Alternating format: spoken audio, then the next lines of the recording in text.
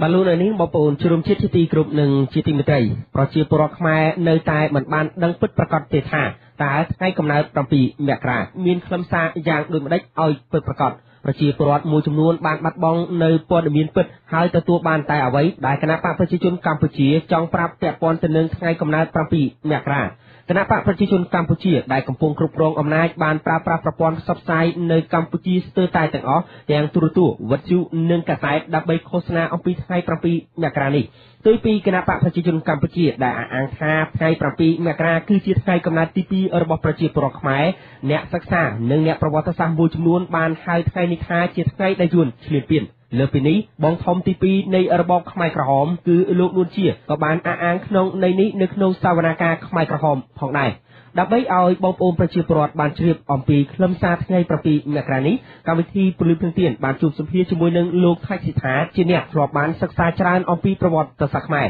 តើថ្ងៃ7មករាកើតឡើងដោយសារអ្វីហើយមានគោលបំណងអ្វីនោះសូមអញ្ជើញលោកអ្នកនាងបងប្អូនចូលរួមជាតិតាមដានស្ដាប់នៅប្រសាសន៍របស់លោកថៃស្ថាដែលឆ្លើយតបទៅនឹងការចោទសួររបស់លោកកងប៊ុនដែលមានខ្លឹមសារដូចតទៅ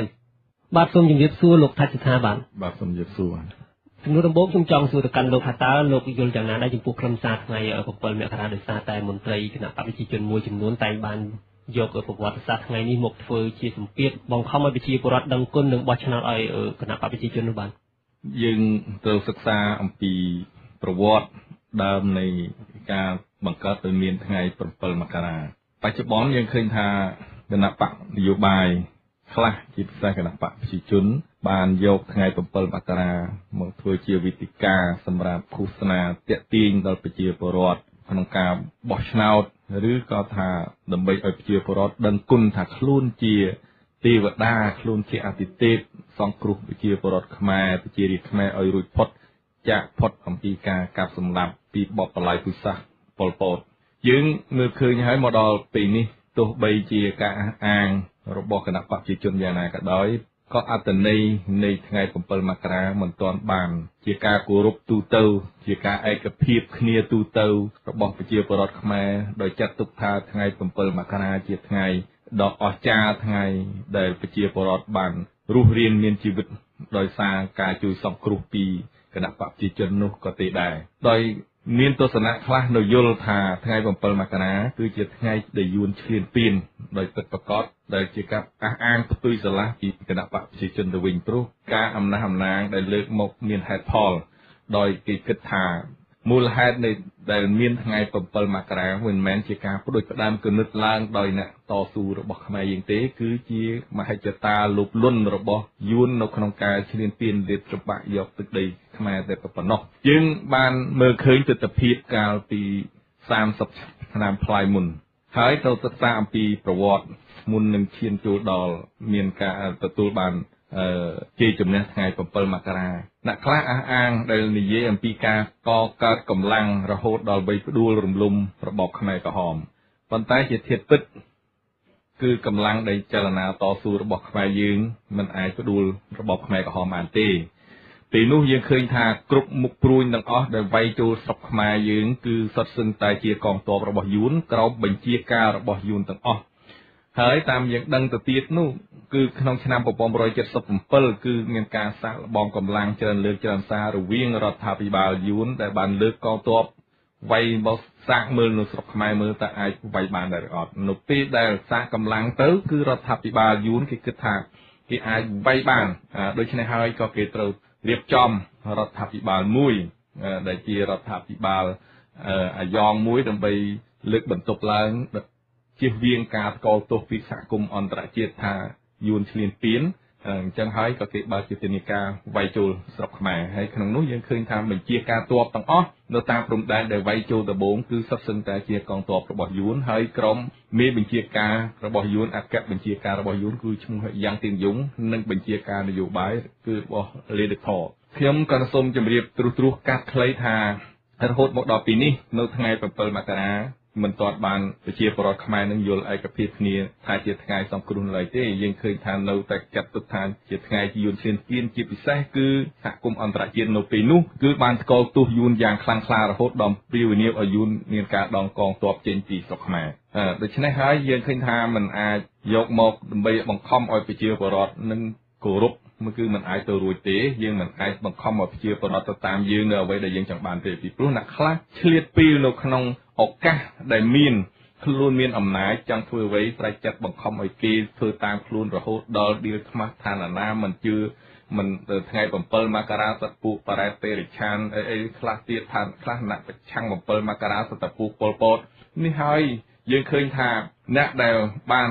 ការពារថ្ងៃ7មករាគឺយកថ្ងៃ7មករាជាកម្មសិទ្ធិរបស់ខ្លួនមិនមែនយកថ្ងៃ7មករាជាទិវារបស់ជាតិទេគឺជាសម្រាប់គណៈបកតែម្ដងដូច្នេះបើយើងគិតថាពីគណៈបកឆន្ទៈនយោបាយរបស់គណៈបកវាមានលក្ខណៈខុសគ្នាហើយបើយើងគិតថាថ្ងៃ7មករានោះជាកម្មសិទ្ធិផ្ដាច់មុខរបស់យើងនឹងហើយសុទ្ធតែជាបញ្ហាការលៀបពណ៌ការធ្វើឲ្យខ្មែរយើងបែកបាក់អត់ឈប់អត់ឈរតទៅសោះអញ្ចឹងហើយខ្ញុំមើលឃើញនៅថ្ងៃ អត្តន័យនៃថ្ងៃ7មករានៅមានការជំរងចម្រាស់មិនទាន់មានការឯកភាពគ្នានៅឡើយទេនៅតែងតែយើងគិតថានោះជាថ្ងៃពិយួនភ្លានពៀនហើយមកខាងទៀតថាជាថ្ងៃដែលជួយសង្គ្រោះប្រជារាស្ត្រខ្មែរបាទមានមតិមួយចំនួនបានលើកឡើងថាបើគ្មានថ្ងៃ 17មេសាឆ្នាំ1975ទេគ្មានថ្ងៃ7មករាទេតែចំណុចនេះលោកមានអ្វីអត្ថាធិប្បាយបន្ថែមបាទវាជាការពិតវាមិនមែនចឹងទេគឺចង់និយាយថាបើមិនមានថ្ងៃ18មីនា1970វាគ្មានការ7មករាគឺខ្មែរក្រហមចូលនោះទេកាប់សម្លាប់ប្រជាពលរដ្ឋនឹងទេហើយក៏គ្មានខ្មែរក្រហមនឹងឡើងមកហើយក៏គ្មានការកាប់សម្លាប់ដែរតាមពិតទៅ គណៈបកបើយើងនិយាយពីថ្ងៃ17មេសាហ្នឹងជារឿងមួយច្បាស់លាស់ណាស់ពេលពួកប៉ុលពតគាត់បានវាយរំដោះប្រទេសកាលហ្នឹងហៅថារំដោះដែរដោយចាត់ទុកថាគេឈ្នះសង្គ្រាមអាមេរិក17មេសាលើចក្រពត្តិអាមេរិកអញ្ចឹងហើយគេតែងតែធ្វើពិធីអបអរសាទរថ្ងៃជ័យជំនះ17មេសាឆ្នាំ1979ក្រោយថ្ងៃ7មករាមក ក្នុងសាធារណរដ្ឋប្រជាមានិតកម្ពុជានេះក៏បានប្រារព្ធពិធីនេះជារៀងរាល់ឆ្នាំដែរដោយប៉ុលពតដូចគ្នាបេះបិទណាប្រារព្ធពិធី17មេសាដូចគ្នាអញ្ចឹង ប៉ុន្តែដល់ពេលមានកិច្ចព្រមព្រៀងក្រុងប៉ារីសនេះហើយក៏ថ្ងៃ17មេសាហ្នឹងក៏បានបញ្ចប់ទៅអញ្ចឹងហើយក៏យើងឃើញថាការដែលបន្តវេននៃបកកុម្មុយនីសឥណ្ឌូចិនបកប្រជាជនបដិវត្តខ្មែរបកប្រជាជនបដិវត្តកម្ពុជារហូតដល់គណៈបកប្រជាជនកម្ពុជានេះគឺគេនៅតែបន្តជារៀងរហូតមកដូចដែលលោកបានថ្លែងពាក់ព័ន្ធជាមួយនឹងប្រវត្តិថ្ងៃ7មករានេះបងប្អូនប្រជាពលរដ្ឋយើងមួយចំនួនធំនៅតែមានចម្ងល់ពាក់ព័ន្ធជាមួយនឹងប្រវត្តិសាស្ត្រពិតដែលនាំឲ្យមានកំណត់7មករានេះក្នុងនាមលោកដែលជាអ្នកដែលធ្លាប់បានដឹងអំពីប្រវត្តិសាស្ត្រកម្ពុជាយ៉ាងច្រើននោះតើលោកអាចអធិប្បាយបន្ថែមទៀតទេជំវិញប្រវត្តិថ្ងៃ7មករានេះបាទយើងមិនអាចប្រកែកបានទេប្រវត្តិសាស្ត្រនៅតែជាប្រវត្តិសាស្ត្រហើយគណៈបព្វជិជនក៏ត្រូវតែទទួលស្គាល់ថាខ្លួនក៏មានកំណើតចេញពីបកគមនេះឥណ្ឌូចិនដែលបង្កើតដោយយួនហូជីមីនដែរយើងត្រូវតែហ៊ានទទួលស្គាល់ហើយដែលយើងហ៊ានប្រកាសយកថ្ងៃ ខែឆ្នាំនៃការបង្កើតបករបស់គណៈបកប្រជាជនកម្ពុជានោះក៏យើងត្រូវតែហ៊ានតាំងរូបថតវីរៈបុរសរបស់បកដែរត្រូវតែហ៊ានដាក់រូបថតរបស់ស្ថាបនិកគណៈបកដែរដើម្បីឲ្យប្រជាពលរដ្ឋគេបានដឹងថាគណៈបកប្រជាជននឹងមកពីប្រភពណាយើងគុំមានការប្រឡែប្រឡំក្នុងប្រវត្តិសាស្ត្រយើងតែងតែពិនភ្នែកដល់ប្រជាពលរដ្ឋកុហកបោកប្រាស់ផ្សេងផ្សេងដើម្បីពង្វក់មិនឲ្យស្គាល់ប្រវត្តិសាស្ត្រនេះយើងជាអំពើ ទុច្ចរិតមួយដែលយើងមិនអាចទទួលយកបានទេយើងត្រូវហ៊ាន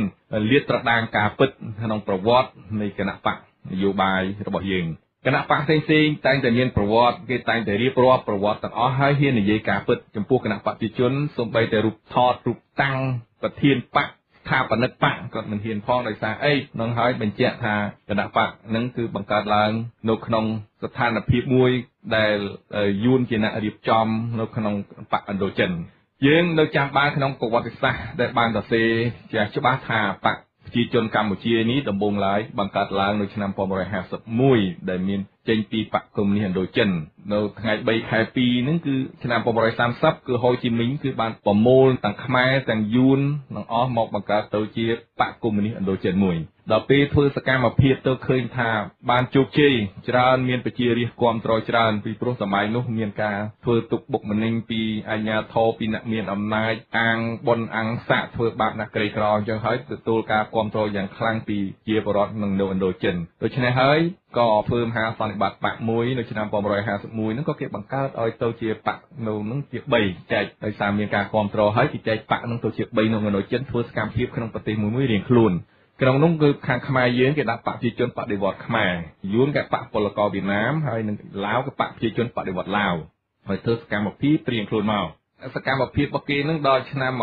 1960នឹងយើងខ្ញុំនិយាយកាត់ត្រួសត្រួសបន្តិចទៅដល់ហ្នឹងគឺថាប៉ុលពតនេះគឺគេមានមហាសន្និបាតមួយដើម្បីជៀសវាងថាគេកើតដោយសារយួនអញ្ចឹងក៏គេមិនចង់ឲ្យមានផ្លាកឈ្មោះគណៈបករបស់គេបកកុម្មុយនីកម្ពុជានឹងនៅក្រោមផ្លាកយួនអញ្ចឹងក៏ធ្វើសន្និបាតមួយដោយថ្ងៃខែកំណត់បកគឺយកថ្ងៃកំណត់បកឆ្នាំ1960ទៅវិញ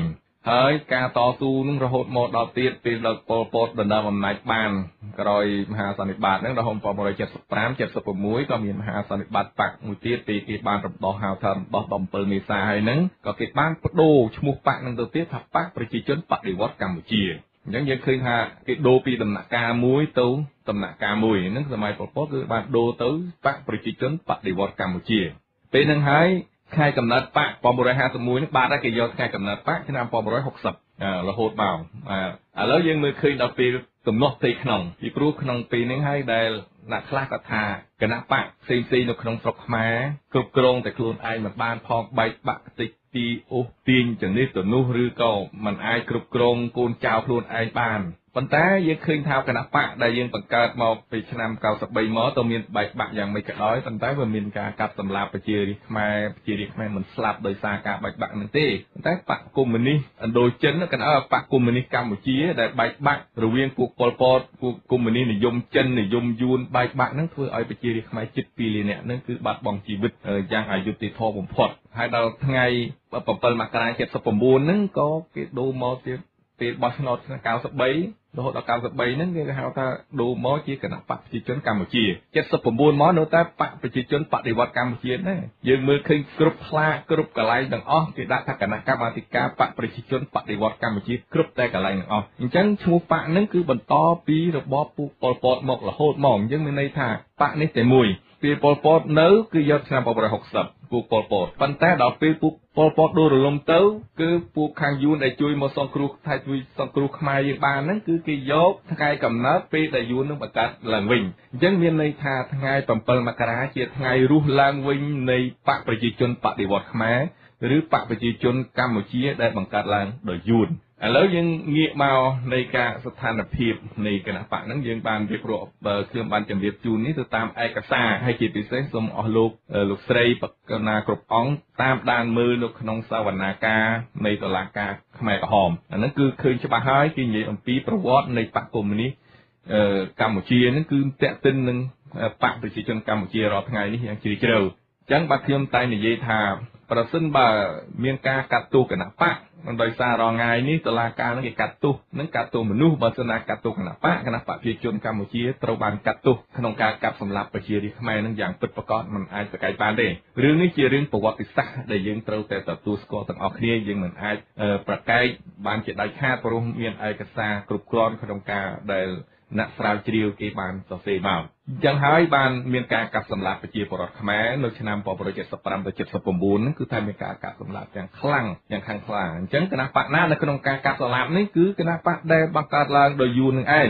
ហើយដល់79អ្នកណាមួយដែលមកជួយសង្គ្រោះគឺយួនដែលអ្នកបង្កើតហ្នឹងហើយដែលមកធ្វើមកចិត្តល្អមកជួយសង្គ្រោះវិញហ្នឹងគឺថាពួកយួននឹងឯងខ្ញុំចង់ជម្រាបសារដើមបន្តិចបើយើងគិតថា7មករាជាថ្ងៃមានគុណបំណាច់ដ៏ធំធេងរបស់គណៈបកប្រជាជនយើងត្រូវមើលឃើញយួនទៅវិញទេព្រោះយួនដែលដែលជាអ្នកលើកទ័ពកងទ័ពមកវាយដួលរំលំរបបប៉ុលពតតើយើងជួថាតើយួនចិត្តល្អរហូតដល់សុកចិត្តស្លាប់ខ្លួនឯងឲ្យខ្មែររស់អញ្ចឹងមែនទេវាមិនអាចទេព្រោះយួនឲ្យខ្មែរនឹងគឺជាសត្រូវយូរឆ្នាំណាស់ហើយរឿងទឹកដីនៃប្រទេសជិតខាងនឹងគឺយួននឹងឲ្យជួចចត់ណាស់ជាមួយខ្មែរយើងប៉ុន្តែហេតុម៉េចបានជាយួនចិត្តល្អសុកចិត្តយកកូនចៅប្តីស្រីរបស់គេមកស្លាប់ឲ្យខ្មែររស់យើងយល់ថាយួនចិត្តល្អម្លឹង ខ្ញុំមិនយល់ថាអញ្ចឹងទេក្នុងប្រវត្តិសាស្ត្រគេបានសរសេរច្បាស់ណាស់អំពីមូលហេតុនៃការវាយចូលស្រុកខ្មែរនៅថ្ងៃ7មករាដែលបានហៅថាថ្ងៃរបស់នោះពីព្រោះដូចខ្ញុំជម្រាបខាងដើមថាដោយមានការសាកល្បងរួចហើយដែលមើលទៅនៃទំនាស់រវាងយួននិងខ្មែរហ្នឹងនៅឆ្នាំ77ទេប៉ុន្តែទំនាស់ខ្លាំងនៅពេលដែលពួកប៉ុលពតដេញស្ថានទូតយួនចេញពីស្រុកខ្មែរនៅខែធ្នូ1977ឥឡូវយើងធ្វើសំណួរសួរថាតើពេលស្ថានទូតយួននៅស្រុកខ្មែរនោះ យួននឹងមានដឹងថាទីក្រុងភ្នំពេញជាព្រៃខ្មោចទេមានដឹងថានៅស្រុកខ្មែរនេះពលពតស្លាប់មនុស្សទេហើយប្រទេសដែលមានស្ថានទូតនៅក្នុងកម្ពុជានៅក្នុងភ្នំពេញហ្នឹងមានតែប្រមាណស្ថានទូតពួកកុម្មុយនីទាំងអស់ក្នុងនោះមានកូរ៉េខាងជើងមានចិនមានរុស្ស៊ីមានយូហ្គោស្លាវីមានយួនមានឡាវអីចឹងហេតុម៉េចក៏ពេលនោះមានយួនមួយដែរបានជាយួនបែរជាយួននៅសងំរហូតហើយជាពិសេសពេលដែលប្រជាពលរដ្ឋខ្មែររត់ទៅ ខាងទៅកម្ពុជាក្រោមហ្នឹងគឺខាងអាជ្ញាធរវៀតណាមហ្នឹងគឺមិនទទួលទេថានៅកម្ពុជាមានស្ថិរភាពនៅពេលនោះគឺស្ថានភាពនៅកម្ពុជានេះគឺនៅតំណែងល្អជាមួយកម្ពុជានិងវៀតណាមអញ្ចឹងនៅពេលការកាប់សម្លាប់ប្រជារាស្ត្រខ្មែរមួយចំនួនរត់ទៅនេះគឺអាជ្ញាធរយួននេះគឺចាប់បញ្ជូនមកវិញហើយគេមិនទទួលទេព្រោះគេថានៅកម្ពុជាមានស្ថិរភាពល្អប៉ុន្តែនៅពេលទំនាស់ទៅវិញក្រោយពីប៉ុលពតបានបណ្ដេញស្ថានទូតយួនចេញពីកម្ពុជាទៅខ្មែរយើងដែលរត់ទៅនោះគេបានប្រមូលកម្លាំងមកហើយថាពិតជាមានការកាប់សម្លាប់មែនដើម្បីចង់ក្រងទៅជាចលនាតស៊ូប្រឆាំងប៉ុលពតទៅវិញយើងឃើញមានការសាកកម្លាំងច្រើនដងច្រើនលើកច្រើនសារនៅឆ្នាំ1977ពេលនោះហើយដែលយួនបានមើលឃើញថានឹងអាចវាយយកស្រុកខ្មែរបានអញ្ចឹងគេត្រូវតែបង្កើតឲ្យមានរដ្ឋាភិបាលមួយអញ្ចឹងបានគេប្រមូលអ្នកដែល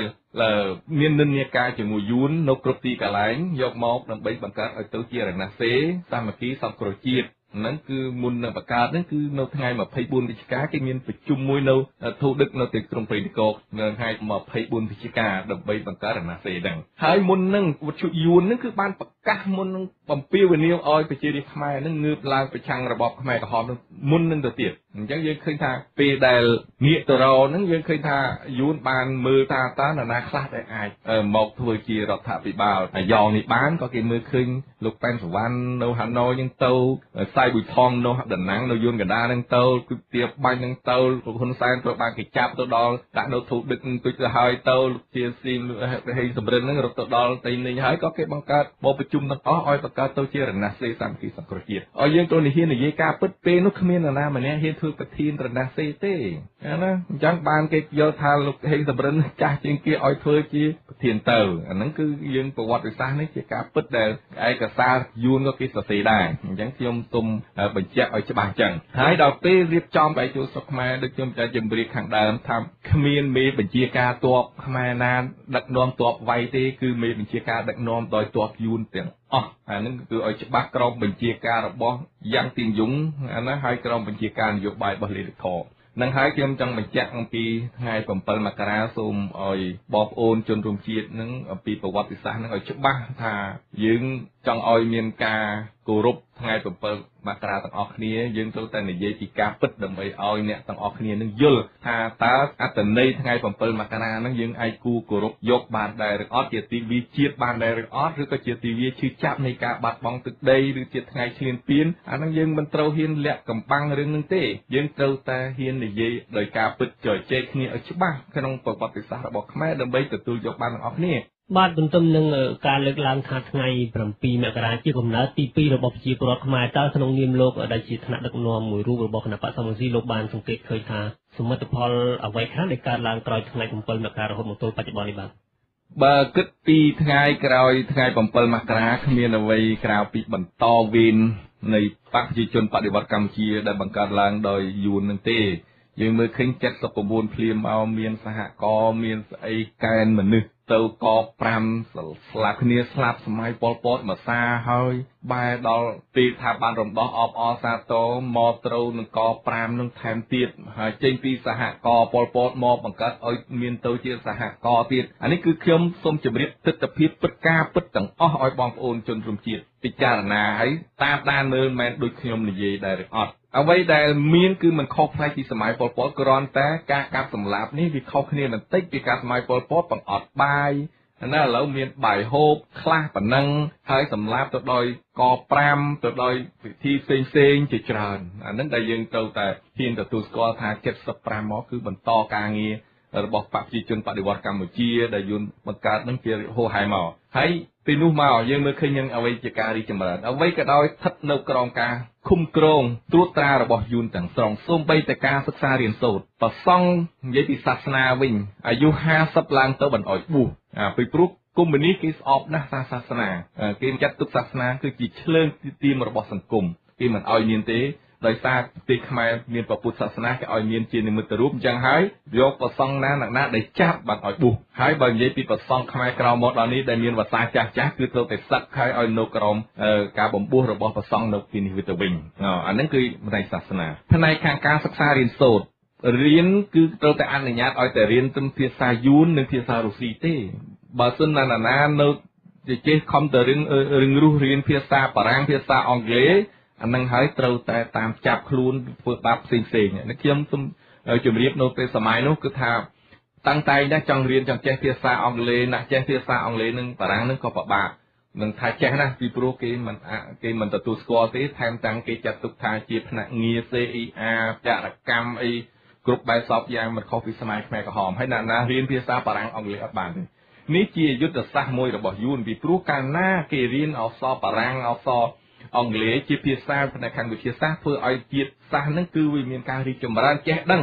ស្រាវជ្រាវទៅដឹងរឿងដូច្នេះហើយយួនត្រួតត្រានៅពេលដែលត្រួតត្រាគេឲ្យរៀនតែអ្វីដែលជាគំនិតរបស់គេគេឲ្យរៀនតែភាសាយួនភាសារុស្ស៊ីក្រៅពីហ្នឹងមិនឲ្យដឹងអ្វីទាំងអស់ហើយប្រវត្តិសាស្ត្រគេមិនឲ្យរៀនទៀតរហូតមកក្រោយមកទៀតយើងមើលឃើញ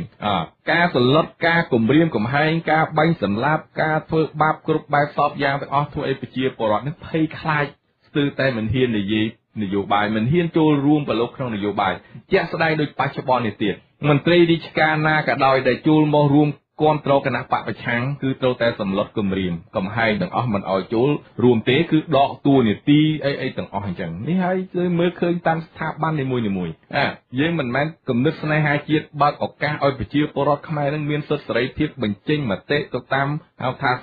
ពិភពលោកដែលគេជឿនលឿនអីហ្នឹងអត់ទេគឺខ្សារជាតិនៃរបបកុម្មុយនីសដែលធ្លាប់ត្រួតត្រាដោយតឹងក្រាំងបែបនេះគេនៅតែយកមកអនុវត្ត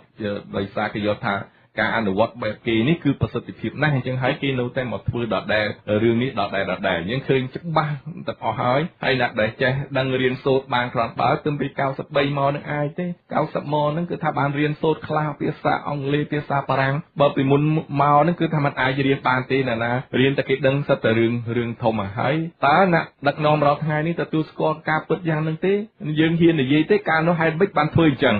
ហានវិចបានបញ្ជូនទៅកាប់ព្រៃក5ឲ្យស្លាប់ប្រជាពលរដ្ឋ ហេតុម៉េចមិនអមមិនអោយប្រជារាស្ត្រខ្មែរសិក្សារៀនសូត្រហេតុម៉េចមិនអោយប្រសងបុះអាហ្នឹងយើងនិយាយការពិតទាំងអស់លាតត្រដាងការពិតបើយើងជាអ្នកស្នេហាជាតិយើងនិយាយមកដើម្បីឲ្យគេដឹងរឿងសាវតាហ្នឹងខ្ញុំលើកឧទាហរណ៍ដូចជាថ្មីថ្មីនេះឃើញមានការសម្ពោធអីណាកង125អីនៅស្រុកយួនស្រុកអីខ្ញុំថានិយាយតែឯងយើងបរុះហើយណាតែរឿងប្រវត្តិសាស្ត្រយើងចង់ដឹងថាតើលោកប៉ែនសវណ្ណនៅឯណាពេលនោះអានេះពីព្រោះកាលនោះតាមតែលោកប៉ែនសវណ្ណគាត់ជាមនុស្សម្នាក់ថាគាត់ជាមេដែរអាឥឡូវនេះវាបែរជាបាត់អស់មេឃើញមេតែម្នាក់ទៅវិញហើយកាលនោះតាមប្រវត្តិដែលយើងដឹងចិត្ត9ហ្នឹងលោកនាយករដ្ឋមន្ត្រីរាល់ថ្ងៃហ្នឹងក៏កូនចៅគេតាអាលោកប៉ែនសវណ្ណសុទ្ធតែមេអីអីទាំងអស់ហើយហេតុមិនឥឡូវហ្នឹងវាទៅជារឿងនឹងទៅ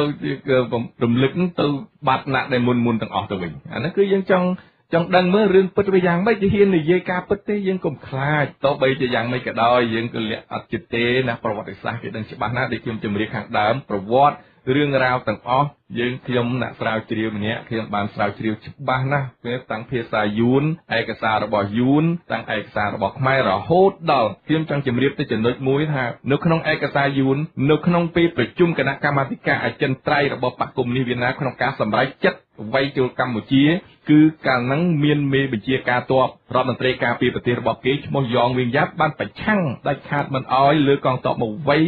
កម្ពុជាទេណាពេលហ្នឹងនៅអចិន្ត្រៃយ៍បកគឺគឺបានដក បិឆោជើងយ៉ងវៀងយ៉ាប់យ៉ងវៀងយ៉ាប់កាលហ្នឹងគាត់ជាមេទ័ពដឹកនាំប្រយុទ្ធឈ្នះសង្គ្រាមនៅឌៀងបៀងភូជាមួយបារាំងគឺជាមេទ័ពដ៏ល្បីលើពិភពលោកហើយដល់ពេលប្រជុំសម្រាប់ក្នុងអចិន្ត្រៃយ៍បកថានឹងវាយយកកម្ពុជាពេលនោះយ៉ងវៀងយ៉ាប់ប្រឆាំងថាមិនបានទេកាលណាវាយមកកម្ពុជាគឺយើងគ្រោះថ្នាក់ហើយប្រទេសវៀតណាមនឹងមានបញ្ហាហើយនឹងអាចមានវិបត្តិបើអញ្ចឹងពេលហ្នឹងអចិន្ត្រៃយ៍ប៉ះគេថាมันអាច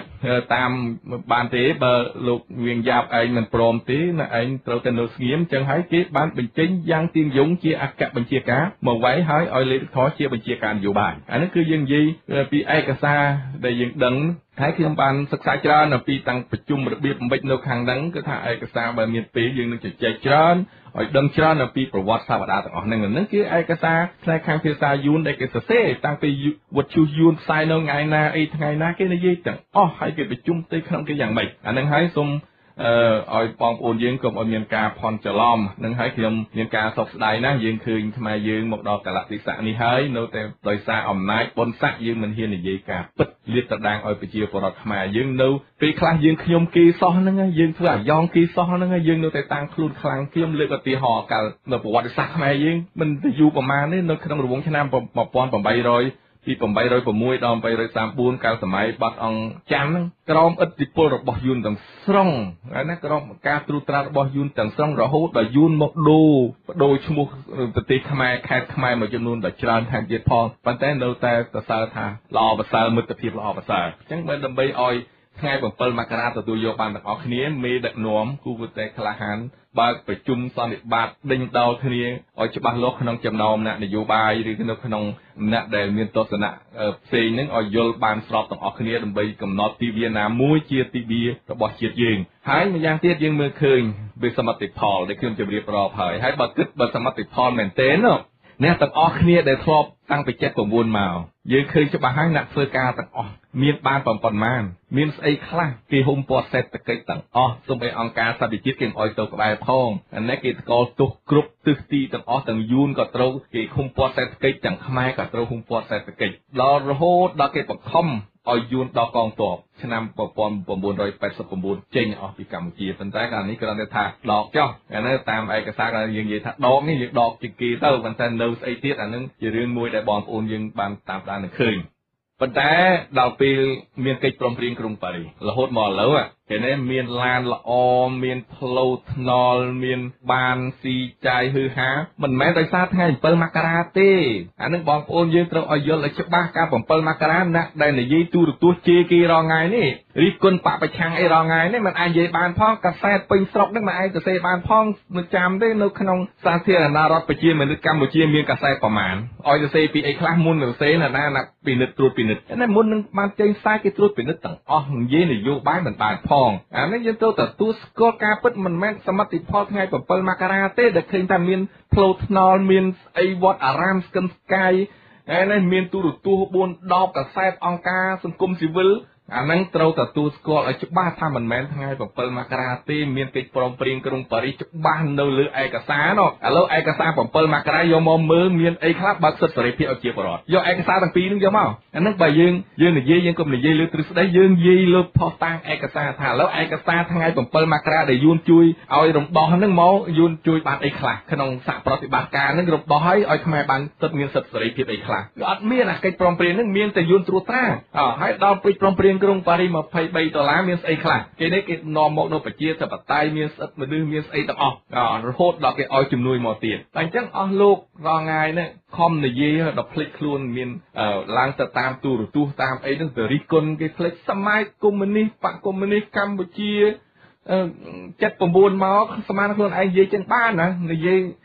ថាផ្សព្វផ្សាយដោយសេរីចឹងបានណាអាហ្នឹងគឺថាត្រូវទទួលស្គាល់អាហ្នឹងមិនមែន ដោយសារ7មករាបានមកហើយរបៀបអញ្ចឹងតែឃើញហើយប៉ុន្តែដល់អ្វីដែលមានការរីកចម្រើនមែនតើហ្នឹងគឺដោយសារតែមានកិច្ចព្រមព្រៀងក្រុងប៉ារីសហើយមិនមានកិច្ចព្រមព្រៀងក្រុងប៉ារីសហ្នឹងគឺ ទៅតង់បកោណាសម្ដេចនរោត្តមសីហនុព្រះមហាវីរសាស្ត្រនឹងក៏បានចូលទៅរួមដឹកនាំចលនាតស៊ូកាលនោះព្រះអង្គទាំងអស់នឹងក៏ចាត់ទុកថានោះហើយជាយូនធ្លានពាន7មករានឹងមិនមែនជាថ្ងៃដែលជួយសង្គ្រោះរស់រានមានជីវិតទេគឺថ្ងៃយូនធ្លានពានអញ្ចឹងបានមានចលនាតស៊ូនៅតាមជាយដែនរហូតដល់បង្ខំឲ្យយន្តដល់កងទ័ពនឹងមានកិច្ចព្រមព្រៀងទីក្រុងប៉ារីសអញ្ចឹងហើយអ្នកទាំងអស់គ្នាកុំអាលភ្លេចបើយើងជាអ្នកគ្រប់ពុទ្ធសាសនាថ្ងៃ